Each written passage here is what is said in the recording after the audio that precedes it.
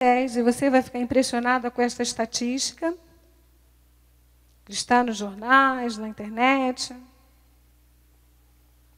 O IBGE, Instituto Brasileiro de Geografia e Estatística, diz que no Brasil, 44% do mercado de trabalho é composto por mulheres. 44% do mercado de trabalho é composto por mulheres. E agora? Nos últimos 40 anos, 40 milhões de mulheres entraram na população economicamente ativa do Brasil. 40 milhões de mulheres. Alô, mulheres de Deus. Nos Estados Unidos, chega a 49,9% Quase a metade da população economicamente ativa no, na América do Norte é formada por mulheres. E mais, nos próximos meses, nos Estados Unidos, a mulher será a maioria, segundo a pesquisa feita pelos órgãos dele, ela vai marcar a maior revolução que aconteceu nos tempos atuais.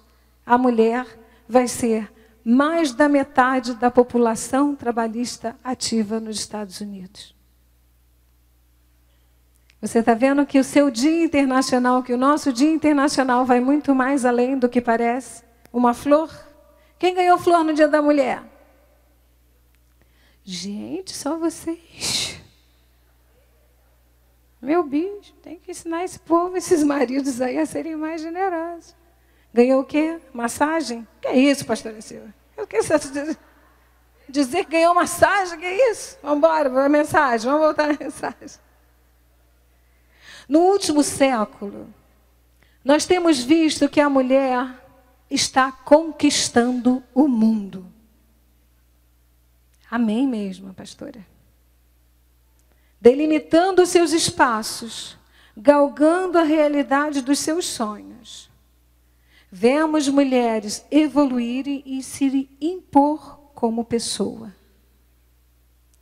Mas a minha pergunta é: quais têm sido as cargas, os dejetos, os radicais livres, os refugos, as angústias, as tribulações, as amarguras, as adversidades, os escândalos, as desgraças, as desavenças, as aflições e as dificuldades insofríveis que as mulheres têm sofrido para chegar aonde têm chegado.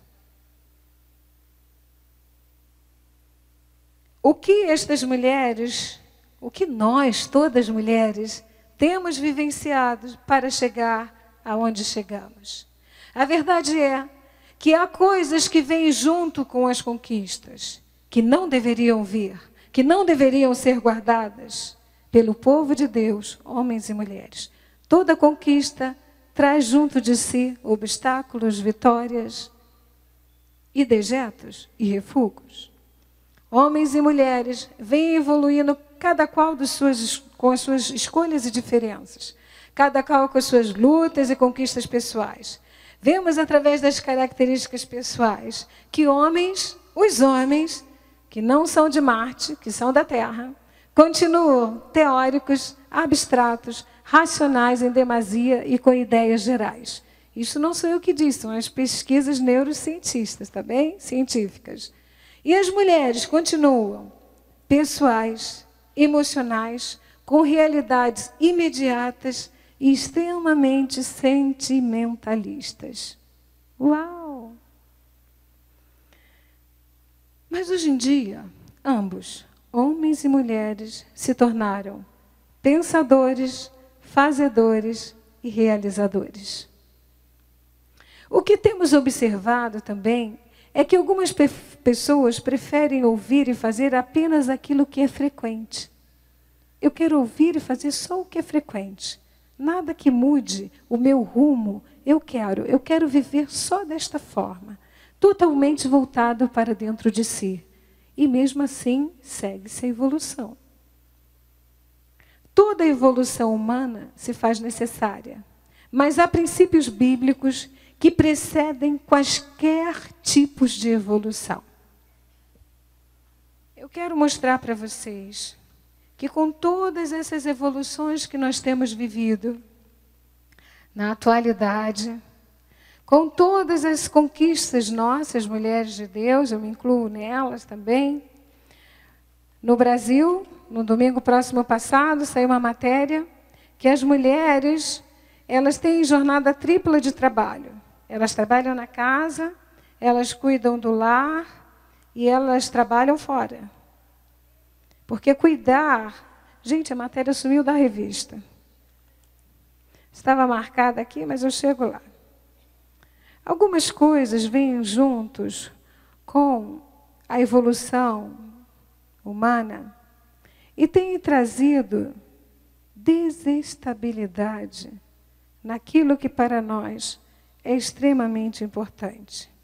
No sábado próximo passado, o apóstolo Miguel Ângelo e eu fizemos uma palestra sobre pedofilia. Quem esteve presente? Eu preciso de ajuda. Está marcada aqui. Pastora Janja, help me, please. Vamos à frente, depois ela vai achar. Está sublinhada. É uma questão que fala sobre as crianças. Toda evolução humana se faz necessária, mas há princípios bíblicos que precedem quaisquer tipos de evolução. Primeiro princípio bíblico. Abra sua Bíblia, esta.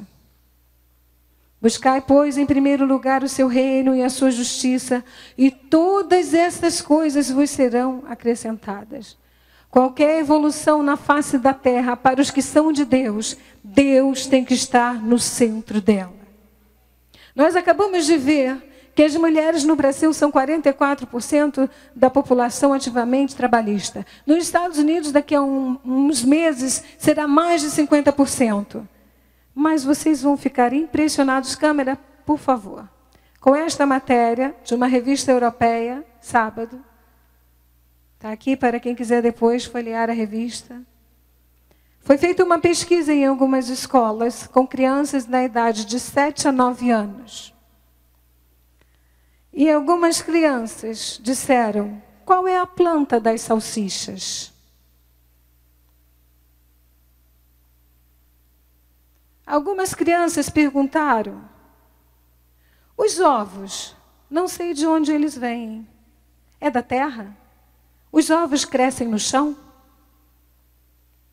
2010, país europeu, primeiro mundo. As pipocas são umas coisinhas amarelas. Tem de se fazer com açúcar e o resto eu não sei. As salsichas vêm de uma loja. A pipoca se faz de batata. Por quê? Elas são cortadas as fatias depois põem uma máquina e ficam redondinhas. Você está rindo, pastora Isa? Você que é avó? Mulheres, nós evoluímos e os nossos filhos não sabem de onde vêm os hambúrgueres? Sabe o que, que disseram aqui, Deb? Você é futura gerente do McDonald's. Os hambúrgueres, os hambúrgueres vêm do McDonald's. Aqui. Acho que as salsichas vêm da água. Oito anos de idade. Se vem numa lata com água, não, não, não. Não, elas são de carne, mas não sei de que animal. Todo mundo está rindo, né? Isso é lamentável. Isso é triste. Que evolução desenfreada é esta? Sabe por quê? Porque este princípio de Deus Buscai, pois, em primeiro lugar o seu reino e a sua justiça, e todas as coisas vos serão acrescentadas. Não tem sido o mote da vida da humanidade, mas vai ser o mote da vida das nossas famílias sempre. Sete anos de idade. O atum, só sei que é feito de peixe. Uma criança de sete anos sabe que o atum, queridos aí, nutricionistas e biólogos, é lamentável. Isso aqui, esses meninos, eles estudam num país de primeiro mundo e se transformarão em homens. Se eles não sabem o que comem, você acha que eles sabem e pensam quem são os seus próximos, os seus semelhantes, o que é a vida? E assim vai. Os hambúrgueres vêm do continente, são feitos de galinha e vaca. As pipocas